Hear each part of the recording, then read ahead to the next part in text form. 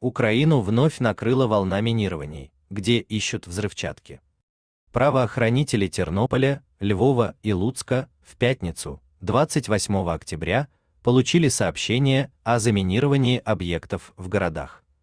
Об этом сообщает РБК Украина со ссылкой на телеграм мэра Тернополя Сергея Надала и местные СМИ. Тернополь. Как сообщил мэр, в городе поступила информация о вероятном заминировании здания районного суда на улице Котляревского, 34. На месте уже работают соответствующие службы. Прошу вас не подходить к зданию и быть осторожными, обратился мэр к местным жителям. Львов.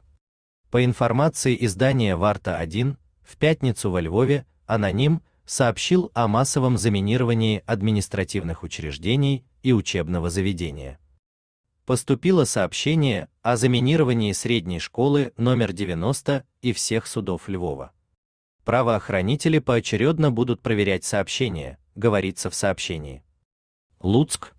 Как сообщает портал Волынские новости со ссылкой на Источники. Около 13 часов 25 минут неизвестный по телефону сообщил на линию 102 о том, что помещение Луцкого районного суда на улицу Леси Украинки и Конякина заминированы.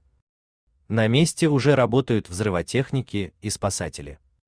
Напомним, вчера правоохранители Тернополя также получили сообщение о возможном массовом заминировании в городе.